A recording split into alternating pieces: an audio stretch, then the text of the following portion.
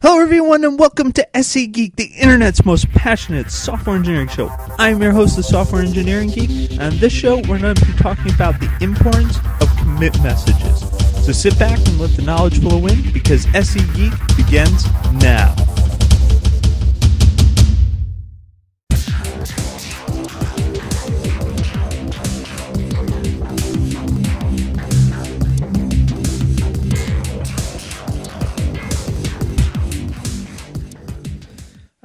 Welcome back. In this uh, video, actually, what we want to do is we're going to go into that Grails repository again. Um, CD Grails.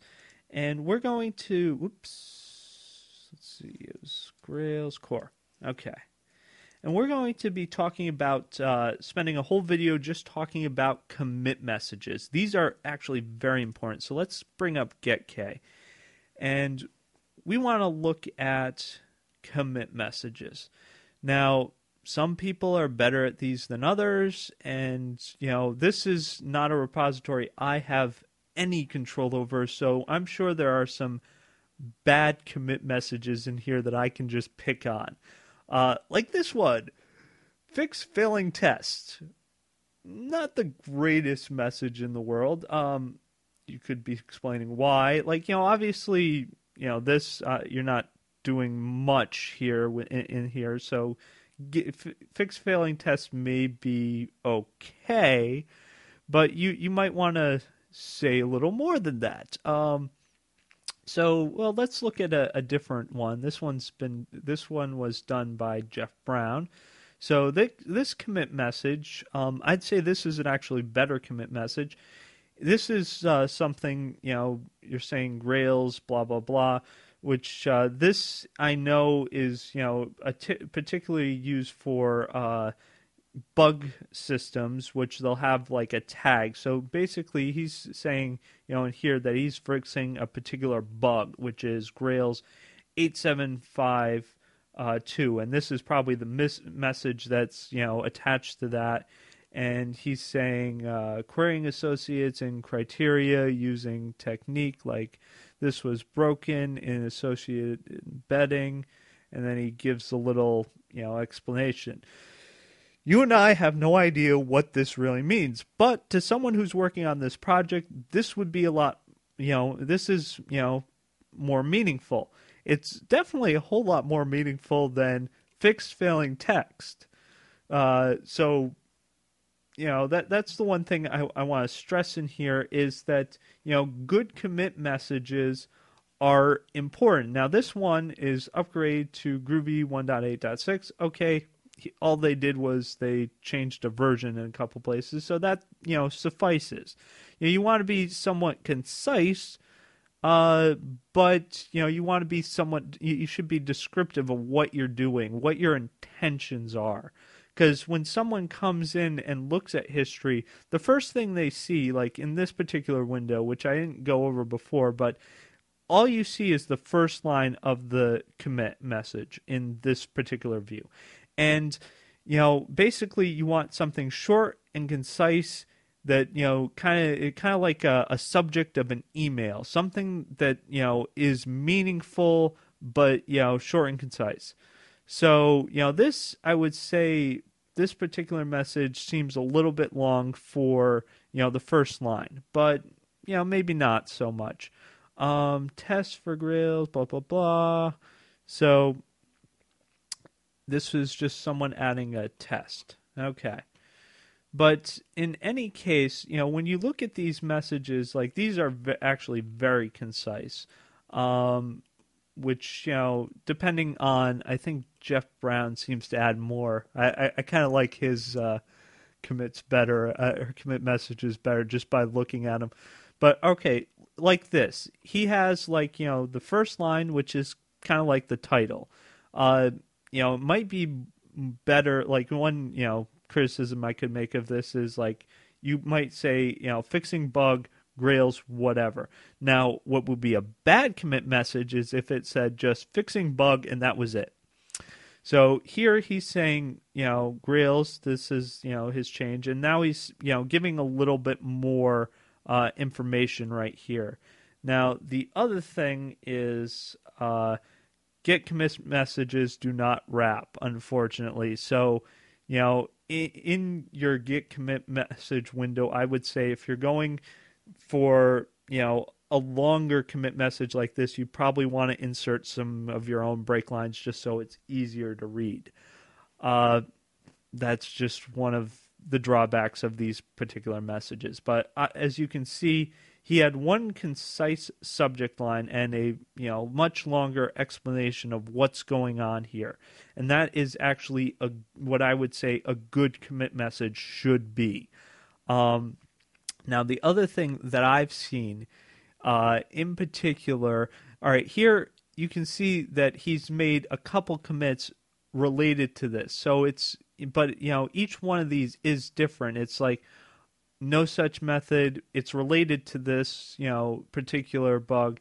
And then there's this one. I've seen people actually use the same commit, commit message for different commits. So it'll be like fixing bug this, uh, fixing bug this. And it's like they made different changes in each of those commits, but they have the same commit message. So it's like, well, you didn't really fix it.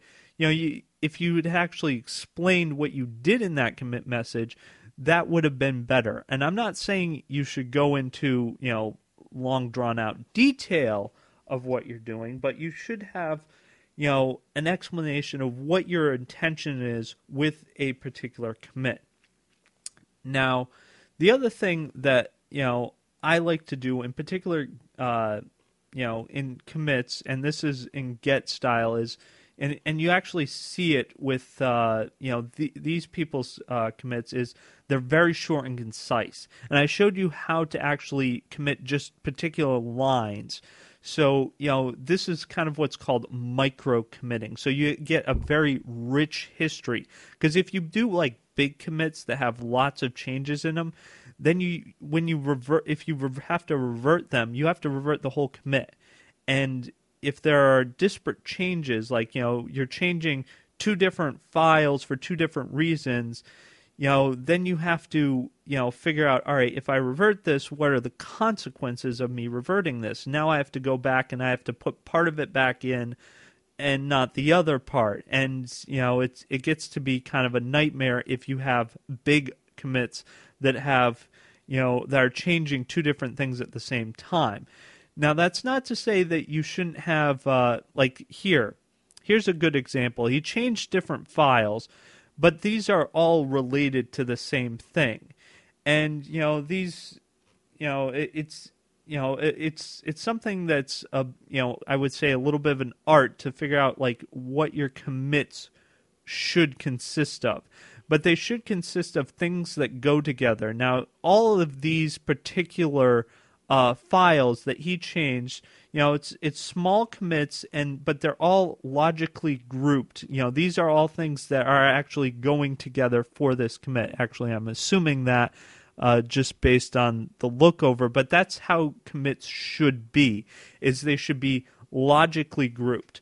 Now, if you're changing, you know, uh, you know, two different things, like you know, you're you're implementing a feature and you're fixing a bug th- that should be two different commits. Those shouldn't go out together.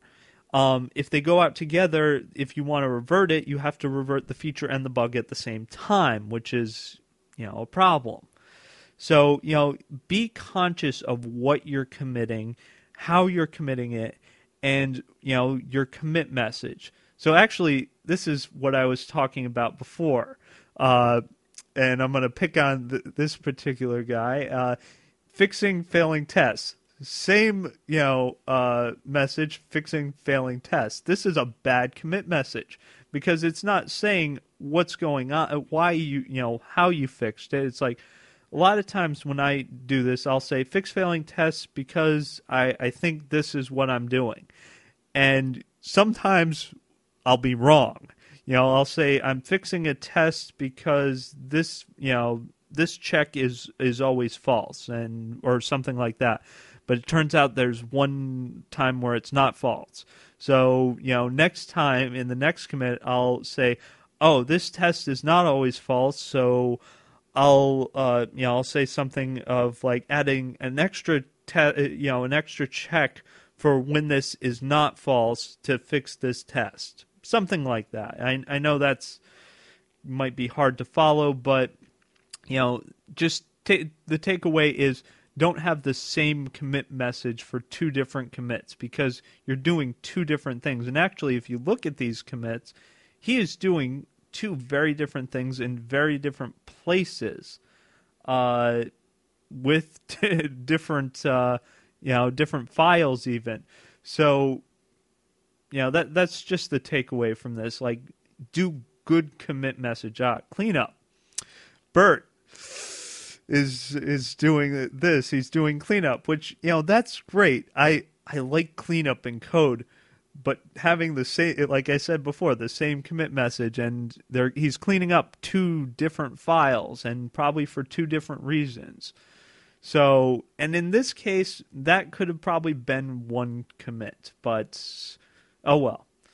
Well, depends on what you're actually doing in the well, he's cleaning up it looks like this is logging and this is cleaning up of a controller. So, you know, it would probably been better to say cleaning up logging and cleaning up controller API. But anyways, you know, I just want to nail this home. Write good commit messages. You know, first line, short, concise subject, followed by maybe a paragraph, you know, or just a sentence saying what your intention is, what you think you're doing when you're doing a commit. And that's pretty much all I have to say. I think I've repeated myself enough.